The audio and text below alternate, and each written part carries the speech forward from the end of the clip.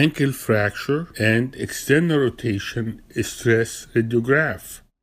You will do the stress view of the ankle before surgery to check if the medial clear space is more than 5 mm, then you got a deltoid injury.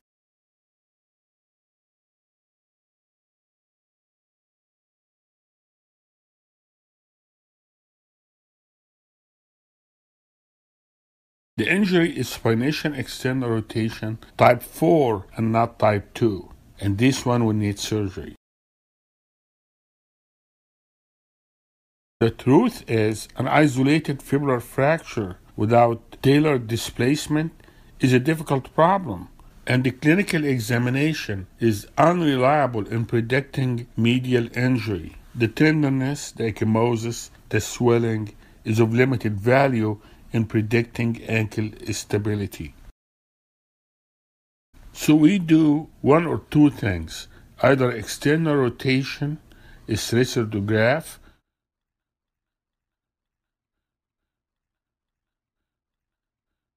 or gravity stress test.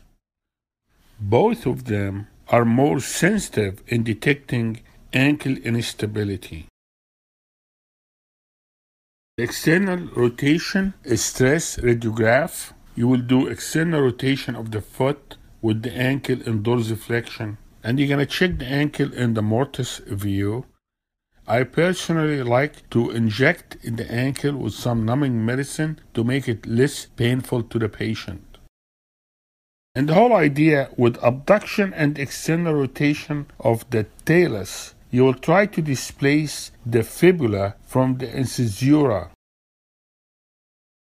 And when the talus moves laterally, freely because the deltoid is injured and it displaces the fibular fracture, that will cause an increase in the medial clear space.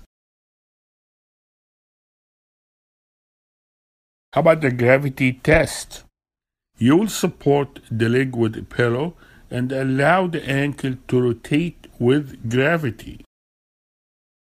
Occasionally, I get CT scan of the syndesmosis and compare both sides, magnify the views, and measure it by the computer. So, the most predictive of a medial side ankle injury is the presence of a high fibular fracture fibular fracture at or above the joint level.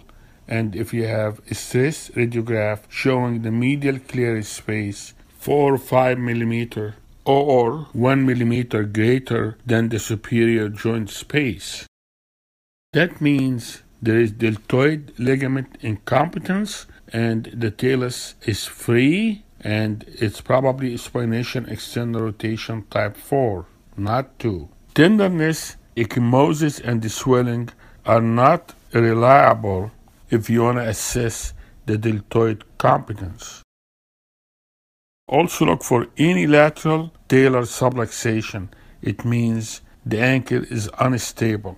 The most important point in assessing ankle fracture for surgery is the position of the talus in the mortise because surgery will maintain the talus centered in the mortise.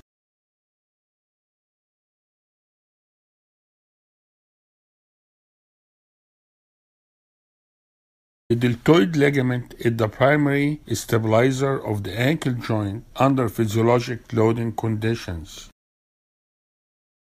Role of the stress view during surgery you can use the stress views or you can use Cotton test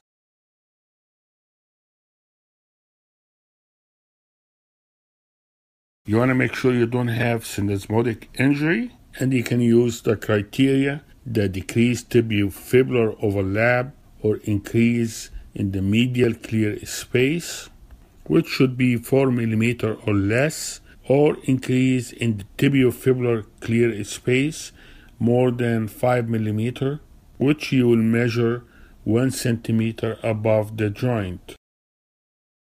And you will do that stress views after fixing both malleoli. Just remember, you will need more syndesmotic screws in Weber C, especially if the deltoid itself is injured. I have never seen an exam that doesn't have something about assessing the stability by abduction, external rotation, stress view of the ankle, either before surgery or during surgery. This video is for educational purposes only. Please consult your doctor before you make any decision about your medical care.